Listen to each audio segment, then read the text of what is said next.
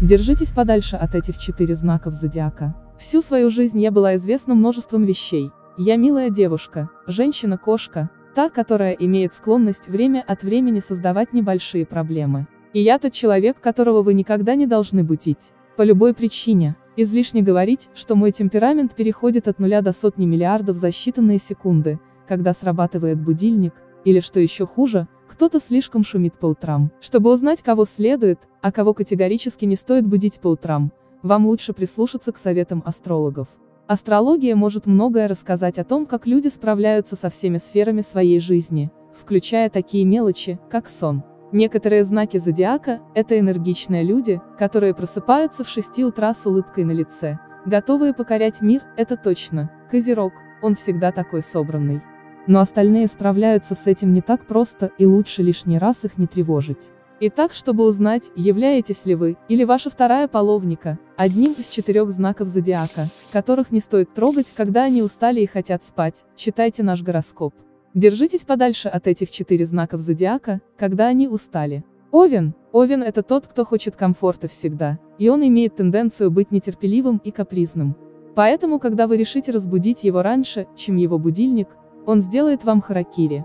Его лучше не трогать, если он переутомился и решил вздремнуть, ведь так он не восстановит свои силы, и отыграется за это на ваших нервах. Конечно, как только Овен встанет и двинется в путь, его уже не остановить. Он полон решимости сделать день продуктивным, но пробуждение – это действительно сложная часть дня. Если вы хотите поднять его, убедитесь, что вы, а делаете это тихо и спокойно, позволяете одну самому решить, сколько дополнительных минут он может еще поваляться в постели. У него все под контролем. Лев, очевидно, все знает, что лев отчаянно нуждается в том, чтобы находиться в центре внимания. Но вы должны дать ему время по утрам, чтобы подготовиться к этому. Это означает, что нельзя заходить в его комнату и будить его. Он сам решает, когда пробуждаться. Представьте сами, как бы вы себя чувствовали, если бы вы, будучи по своей природе ленивым человеком, который хочет, чтобы с ним обращались как с царственной особой, проснулся от чего-то столь же глупого, как школа, работа или поздний завтрак. Пожалуйста, пусть королева, король, отдохнут.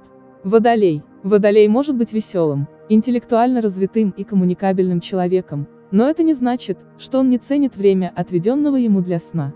Он любит хорошенько поспать и понежиться в постельке. Учитывая то, насколько он темпераментный, он предпочел бы просто накричать на вас из-за какой-то глупости, чем объяснять, почему он хочет так долго спать. Не стоит его будить, когда он спит, или прилег вздремнуть на диване, иначе вы пожалеете об этом.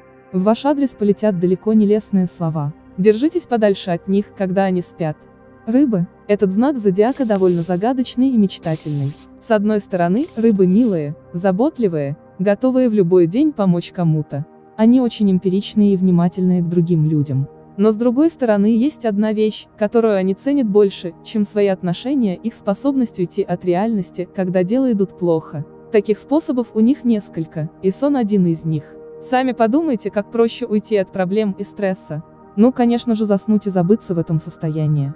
Поверьте, когда рыбы попадают в своих сновидениях в иной мир, в котором все так, как они того желают, где исполняются их мечты, то менее всего они хотят, чтобы их возвращали в реальность. Не выдергивайте их из сновидений, без крайне важной на то причины. Наступает конец света или нужно спать мир, поинтересуйтесь заранее у рыб, хотят ли они, чтобы их будили по такому поводу. Друзья, независимо от того, верите ли вы в гороскопы или нет, они существуют веками. Многие поколения смотрели на звезды и движение планет, чтобы улучшить различные аспекты своей жизни. Вы много можете узнать из своего гороскопа, сформировать вашу точку зрения улучшить свою жизнь. Подписывайтесь на наш канал, ставьте лайки и не пропускайте новых выпусков. Не забывайте нажимать на колокольчик и писать в комментариях. Мы вас любим. До новых встреч. Благодарим за просмотр.